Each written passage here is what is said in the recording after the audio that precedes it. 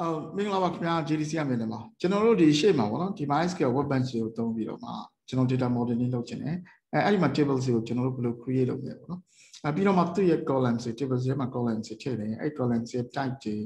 သူ့ရဲ့ definition တွေကိုကျွန်တော်သတ်မှတ်တယ်သတ်မှတ်လို့ရတယ်ပေါ့နော်ဆိုတော့ကျွန်တော်တို့လေ့လာခဲ့ပါတယ်အခုဒီမှာတော့ဒါကျွန်တော်တို့ tables ရေးပြီးတာတော့မပြီးသေးဘူးဗျာကျွန်တော်ဒီလို tables ရှိတယ်ပေါ့ပြီးတော့မှဒီ tables တွေကဘယ်လို relationship ရှိတာလဲဆိုတော့ကျွန်တော်သတ်မှတ်ကြရအောင်ပေါ့နော် အပုံမှန်ဖြစ်တော့ကျွန်တော်တို့ကဒီ table zero relationship ကိုသတ်မှတ်တဲ့အခါမှာကျွန်တော် SQL DDR ရေးတဲ့အခါမှာ foreign keys ကိုသတ်မှတ်ပြီးတော့မှအဲဆိုကြပါစို့ဒီ course ထဲမှာဆိုရင်ဒီ class ထဲမှာဆိုဒီ course ကိုသင်ပါအောင်ဆိုတော့ class ထဲမှာဘာလုပ်လဲဆိုတော့ course ID ဆိုတဲ့ဒီ column တစ်ခုကိုထည့်တယ်ပြီးတော့မှသူ့ foreign key လို့သတ်မှတ်တယ်ပြီးတော့မှသူက course table ရဲ့ ID ကို reference လုပ်တယ်ဆိုပြီးကျွန်တော်ရေးကြတာပေါ့နော်ရေးကြမှာ DDR ရေးတော့ကျွန်တော်ဒါ foreign key reference ကိုဘယ်လိုရေးကြတယ်ဆိုတာလေ့လာပြီးသား ဒီ data modeling မှာကျွန်တော်တို့အလွယ်တကူလုပ်လို့ရတယ်ဗျဒီဟို something ဒီမှာ one to many one to many လို့ရေးတယ်ပေါ့နော်အဲနှစ်ခုရှိတယ်ဗျ dot dot dot line နဲ့ one to many နဲ့ဒီ straight line နဲ့ one to many စာရှိတယ်လို့ဟို straight line နဲ့ဒီ one to one နဲ့ dot line နဲ့ one to one စာရှိတယ်သူကဘာလို့ပို့ပေးရလဲဆိုတော့ဒီ relate ဒီ table တွေကိုသူက relation တွေလို့ခေါ်တာပေါ့နော် relation data modeling မှာ ဒီ relationship တွေကြားထဲမှာရှိတဲ့ relationship တွေကိုသတ်မှတ်ခြင်းတဲ့အခါမှာကျွန်တော်တို့အသုံးပြုနိုင်တာဖြစ်တယ်။အဲဘယ်လိုလုပ်တာလဲ။အဲကျွန်တော်ကြည့်မယ်ဆိုလို့ရှိရင်ဆိုကြပါစို့ကျွန်တော်ဒီမှာ class class တစ်ခုက course ကိုဘယ်နှခုသင်တာလဲ။ကျွန်တော်တို့ဒီ course တစ်ခုမှာဆိုရင်ဒီ course တစ်ခုကိုကျွန်တော် Java basis ဆိုတဲ့ course ကြီးအဲ့ course ကို January ကျွန်တော်တို့ဒီ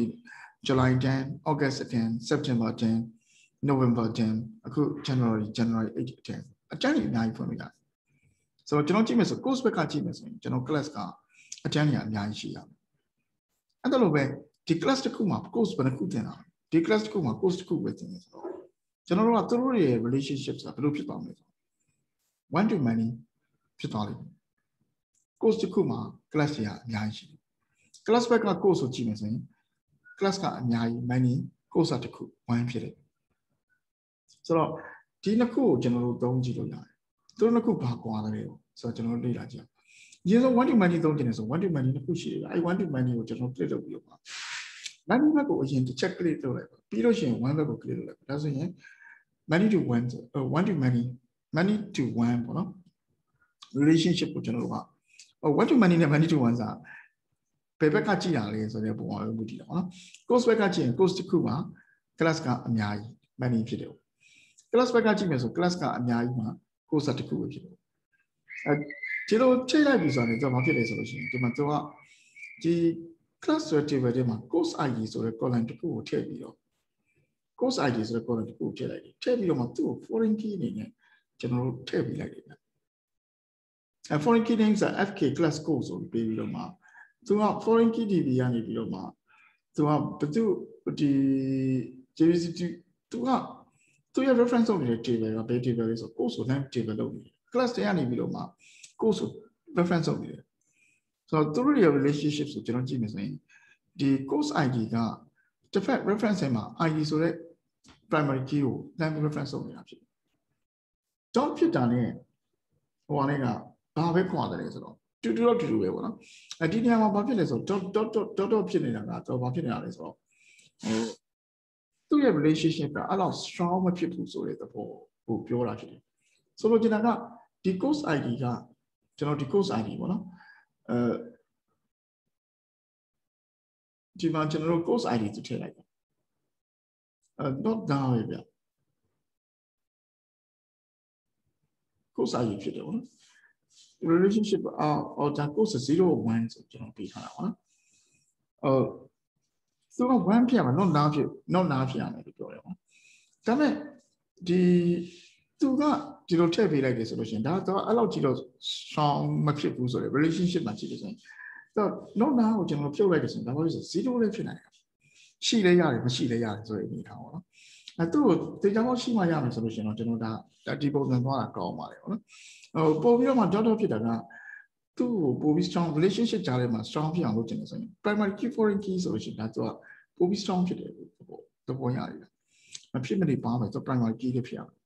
ဆိုတော့ဒီနေရာမှာတော့ကျွန်တော်တို့က primary key foreign key ဖြစ်စရာမလိုတဲ့အတွက်ကျွန်တော်တို့သူ့ဖြုတ်ထားလိုက်ပါတယ်ဖြုတ်ထားလိုက်ပါတယ်ဟုတ်လားအဲဒါဆိုလို့ရှိရင်ဒါ one to many relationships ကိုကျွန်တော်ကချိန်လို့ရတယ်အဆိုကြမှာဆိုကြနောက်တစ် table တစ်ခုထည့်ရအောင်နောက်တော့ one to one နဲ့ကျွန်တော်သုံးကြတော့ teacher ဆေးမှာကျွန်တော်တို့က contact ဆိုတဲ့ table တစ်ခုရှိရော okay contact ဆိုတဲ့ table တစ်ခုရှိရော ဟိုဒီ contact ဆိုတဲ့ table တစ်ခုထားထားလိုက် C O N T A C T contact ပေါ့နော်အဲသူ့မှာကျွန်တော်တို့ ID ရှိတယ်ပေါ့ ID primary key ID ထည့်လိုက်တယ်အဲသူ့ရဲ့ type က int ပဲပေါ့နော် auto increase သုံးလိုက်တယ်အဲ contact ထဲမှာကျွန်တော်တို့ phone number ရှိတယ်အဲ email ရှိတယ် email ရှိတယ် email ရှိတယ်ဒီလိုမျိုး contact ဆိုတဲ့ table တစ်ခုရှိတယ် teacher တွေနဲ့ contact ဆက်ကြည့်နေဆိုရင် teacher နဲ့ contact ဆက်ဘယ်လို relationship ရှိမှာလဲ teacher တယောက်က contact တစ်ခုရှိတယ်ဆိုလို့ရှိရင်ကျွန်တော် teacher ဘက်ကနေ contact ကို reference လုပ်မလားနော် one to one ရေးခြင်းနေဆိုရင်ကျွန်တော်ဒါဒါဒါလေးကိုရေးပြီးတော့မှ foreign key ကို owner ကဘယ်ဘက်မှာရှိမှာလဲဆိုတော့ကျွန်တော်အရင်တော့ရွေးချယ်ပေးရတယ်သူ့ရဲ့ foreign key ရဲ့ owner ကကျွန်တော် teacher ဘက်မှာရှိတယ်စီစီခြင်းနေဆိုရင် teacher ဘက်ကိုအရင်ထောက်တယ်ပြီးတော့မှ contact ကိုထည့်လို့ရှိရင် teacher နဲ့ contact နဲ့ကြားထဲမှာသူက one to one relationship နဲ့ relationship ကိုပိုင်းပြီးထည့်ပြီးပေါ့နော် relationship ကိုသတ်မှတ်ပြီးတယ်ပြီးတော့မှ teacher ဘက်မှာ contact ID ဆိုတဲ့ဟာကိုထည့်ပြီးတော့မှ teacher တယောက်က contact တစ်ခုရှိရမယ်ဆိုတဲ့ပုံစံနဲ့ကျွန်တော်သတ်မှတ်ပြီးတကယ်တမ်းကြည့်မယ်ဆိုလို့ရှိရင်ဒီ teacher နဲ့ contact ID ရတယ် contact ID ဆိုတဲ့ foreign key ထည့်တယ်နားမဟုတ်ရဘူး foreign key မှာလည်းအဲ့တိုင်းပဲထည့်ပြီးရမယ် one to one နဲ့